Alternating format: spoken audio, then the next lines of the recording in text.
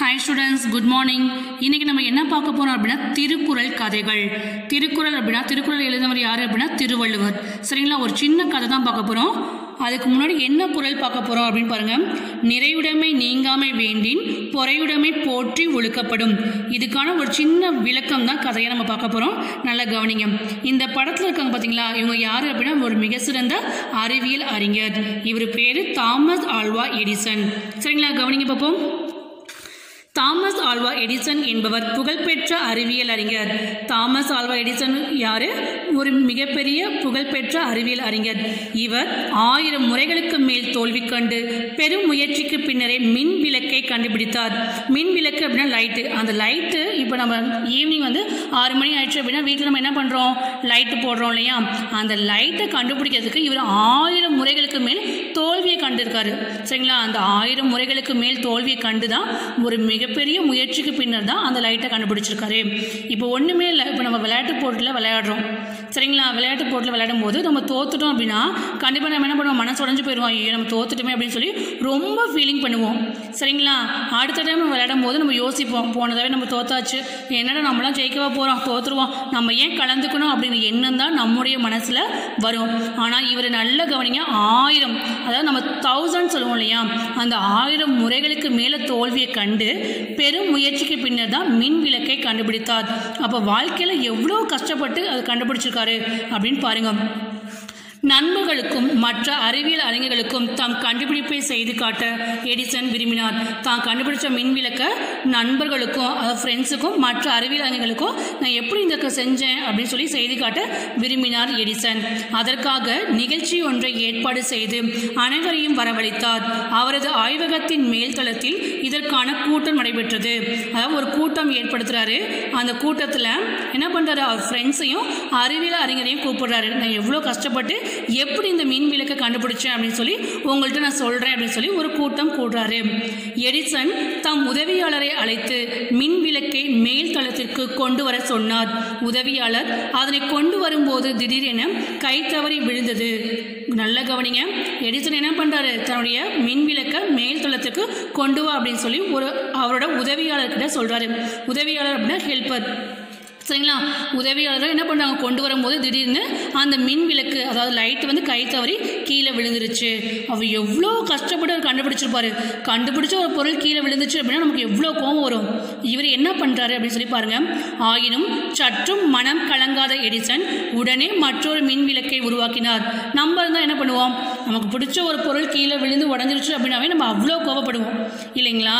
ஆனால் இவர் கஷ்டப்பட்டு கண்டுபிடிச்ச மின் விளக்கை தன்னுடைய உதவியாளரை கொண்டு வா சொல்லும்போது அந்த உதவியாளர் தெரியாமல் கை தவறி கீழே விட்டுட்டாரு.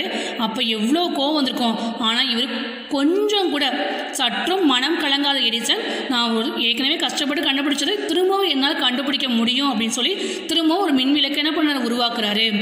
ஆயினும் சற்றும் மனம் கலங்காத எடிசன் உடனே மற்றொரு மின் விளக்கை உருவாக்கினார்.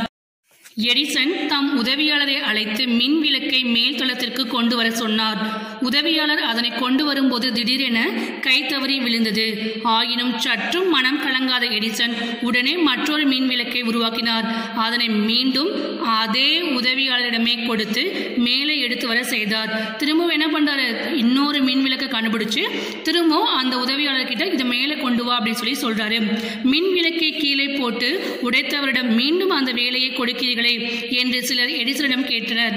மின் விளக்கை இப்போதான் ஒன்று உடைச்சிட்டான். திருப்பியும் நீங்கள் கஷ்டப்பட்டு உருவாக்குன மின் விளக்கை ஏன் அவங்ககிட்டே கொடுக்குறீங்க அப்படின்னு சொல்லி சிலர் வந்து எடிசன் கிட்ட கேட்குறாரு அதுக்கு எடிசன் என்ன பதில் சொல்றாரு அப்படின்னா அதுக்கு எடிசன் உடைந்த பொருளை மீண்டும் உருவாக்க என்னால் முடிந்தது.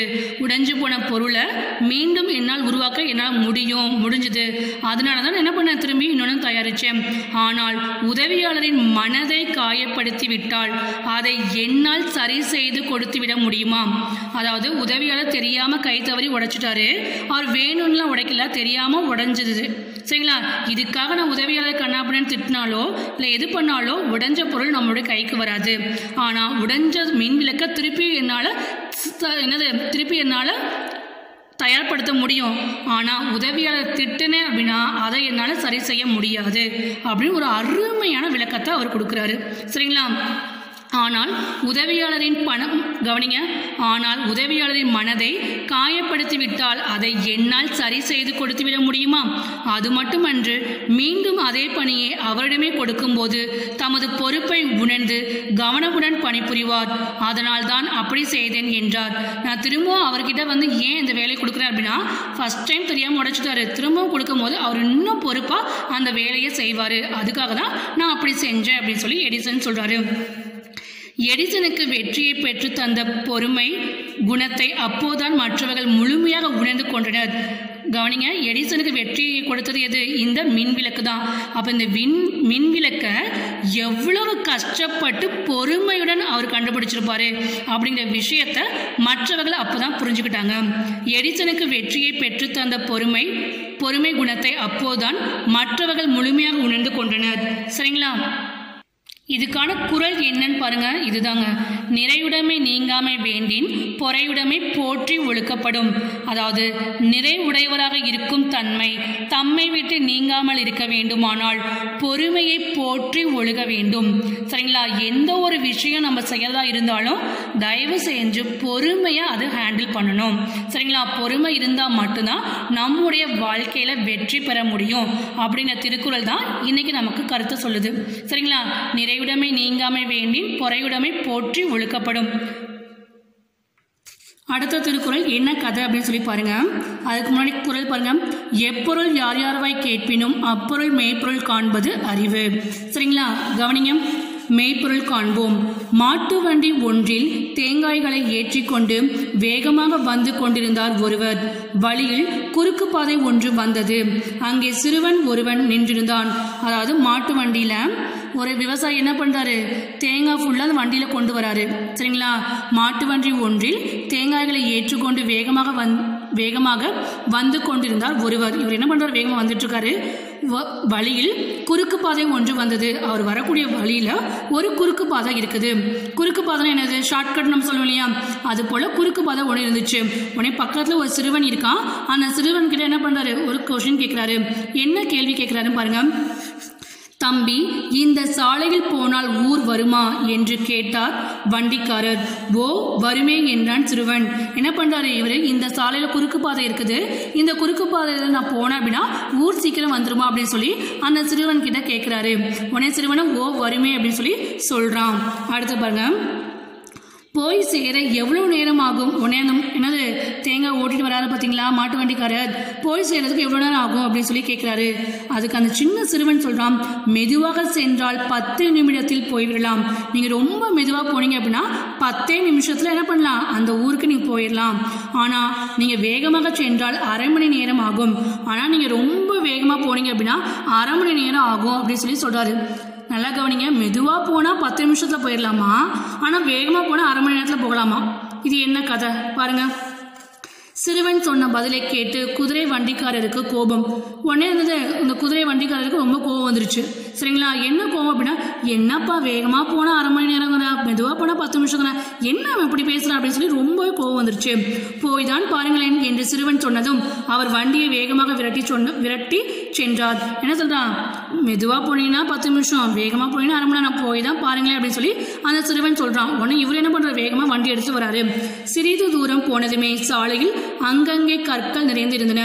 கொஞ்ச தூரம் போனோடனே சாலையில் அங்கங்கே கல் நிறையவே இருந்துச்சு. அதனால் வண்டி தடுமாறி கவிழ்ந்தது. அதனால் வண்டி என்ன பண்ணுச்சு? அந்த கல் நிறைய இருக்கிற இடத்துல வண்டி தடுமாறி கீழே கவிழ்ந்துருச்சு. தேங்காய்கள் சிதறின உடனே வண்டியில் இருக்க தேங்காய் எல்லாமே சிதறி போயிடுச்சு. வண்டியை தூக்கி நிறுத்தி கீழே சிதறிய தேங்காய்களை ஒவ்வொன்றாக எடுத்து போடுவதற்கு அரை மணி நேரத்திற்கும் மேலாகி விட்டது அந்த வண்டி கவனிங்க இதில் கல் நிறைய கல்லுகள் இருக்குது. அதில் வேகமாக போகும்போது வண்டி சதறி கீழே விழுந்துருச்சு. அப்போ இந்த தேங்காயில் என்ன பண்ணுச்சு? கீழே விழுந்துருச்சு. ஸோ இந்த தேங்காயெலாம் எடுத்து திருப்பி வண்டியை ஸ்டார்ட் பண்ணுறதுக்கு வண்டி ஓட்டுறதுக்கு அரை மணி நேரத்துக்கு மேலாயிருச்சு. சரிங்களா? அரை மணி நேரத்திற்கு மேலாகி விட்டது வண்டிக்காரருக்கு சிறுவன் சொன்னதன் பொருள் புரிந்தது. இப்போதான் வண்டிக்காரருக்கு சிறுவன் சொன்னது புரிஞ்சிச்சு. மெதுவாக போனால் பத்து நிமிஷத்துல போயிடலாம் சொன்னார். ஆனால் வேகமான அரை மணி நேரம் சொன்னார். நான் வேகமாக போனேன். ஆனால் வேகமாக போனனால வண்டி சரிஞ்சு கீழே விழுந்துருச்சு. தேங்காய்லாம் விழுந்துருச்சு. இப்போ அவன் சொன்ன பதில் கரெக்டாக இருக்குது. அரை மணி நேரத்துக்கு மேலேயும் ஆயிடுச்சு அப்படின்னு இப்போ அந்த சிறுவன் சொன்ன பதிலை புரிஞ்சுக்கிட்டான். எந்த ஒரு செயலை செய்யதா இருந்தாலும் பொறுமையாக செய்யுங்க. பொறுமையாக செஞ்சோம் அப்படின்னா கண்டிப்பாக அந்த செயலில் வெற்றி கிடைக்கும். நம்ம அவசரப்பட்டு செஞ்சோம் அப்படின்னா அதில் வெற்றி கிடைக்காது அப்படின்னு சொல்கிறதா இந்த சிறுவன் நமக்கு சொன்ன கதை. சரிங்களா? குரல் பாருங்க. எப்பொருள் யார் யார்வாய் கேட்பினும் அப்பொருள் மெய்ப்பொருள் காண்பது அறிவு. எப்பொருள் யார் யாரிடம் கேட்டாலும் கேட்டவாறே எடுத்துக்கொள்ளலாம் அப்பொருளின் மெய்யான பொருளை காண்பதே அறிவாகும். சரிங்களா? எப்பொருள் யார் யாரிடம் கேட்டாலும் கேட்டவாறே எடுத்துக்கொள்ளலாம் அப்பொருளின் மெய்யான பொருளை காண்பதே அறிவாகும். சரிங்களா? இன்னொரு டைம் கதையை படிச்சிடலாமா? கவனிங்க. மாட்டு வண்டி ஒன்றில் தேங்காய்களை ஏற்றிக்கொண்டு வேகமாக வந்து கொண்டிருந்தார் ஒருவர். வழியில் குறுக்கு பாதை ஒன்று வந்தது. அங்கே சிறுவன் ஒருவன் நின்றிருந்தான். தம்பி இந்த சாலையில் போனால் ஊர் வருமா? என்று கேட்டார் வண்டிக்காரர். ஓ வருமே என்றான் சிறுவன். போய் சேர எவ்வளவு நேரம் ஆகும் மெதுவாக சென்றால் பத்து நிமிடத்தில் போய்விடலாம். வேகமாக சென்றால் அரை மணி நேரம் ஆகும். சிறுவன் சொன்ன பதிலை கேட்டு குதிரை வண்டிக்காரருக்கு கோபம். என்ன கிண்டலா? வேகமாக சென்றால் எப்படி நேரம் அதிகமாகும்? என்று கேட்டார். போய்தான் பாருங்களேன் என்று சிறுவன் சொன்னதும் அவர் வண்டியை வேகமாக விரட்டிச் சென்றார். சிறிது நூர் சிறிது தூரம் போனதுமே சாலையில் அங்கங்கே கற்கள் நிறைந்து இருந்தன. அதனால் வண்டி தடுமாறி கவிழ்ந்தது. தேங்காய்கள் சிதறின. வண்டியை தூக்கி நிறுத்தி கீழே சிதறிய தேங்காய்களை ஒவ்வொன்றாக எடுத்து போடுவதற்கு அரை மணி நேரத்திற்கு மேலாகிவிட்டது வண்டிக்காரருக்கு சிறுவன் சொன்னதன் பொருள் புரிந்தது. எப்பொருள் யார் யார்வாய் கேட்பினும் அப்பொருள் மெய்ப்பொருள் காண்பது அறிவு. சரிங்களா? ஃபர்ஸ்ட் குரல் நம்ம என்ன படித்தோம் எந்த ஒரு விஷயத்தையும் செய்யும் போது பொறுமையாக செய்யணும். அது பொறுமை குணம் இருந்தால் இந்த உலகத்தில் எந்த ஒரு விஷயத்தையும் நம்ம ஈஸியாக வெற்றி பெற முடியும் அப்படின்னு சொல்கிறாங்க அடுத்தது ஒருத்தவங்க இவர் என்ன பண்ணுறாரு வழி கேட்குறாரு இந்த பையன் பொறுமையாக பதில் சொல்கிறான் ஸோ இவர் கேட்கும் போது இவன் சொன்ன பதிலை வந்து நான் ஃபாலோ பண்ணியிருந்தோம் அப்படின்னா இவருக்கு இவ்வளோ கஷ்டம் வந்திருக்காது. அதுதான் சொல்கிறாங்க எப்பொருளை யார் யாரிடம் கேட்டாலும் கேட்டவாறு எடுத்துக்கொள்ளலாம். அப்பொருளின் மெய்யான பொருளை காண்பதே அறிவாகும் அப்படின்னு சொல்கிறாங்க சரிங்களா? Okay students thank you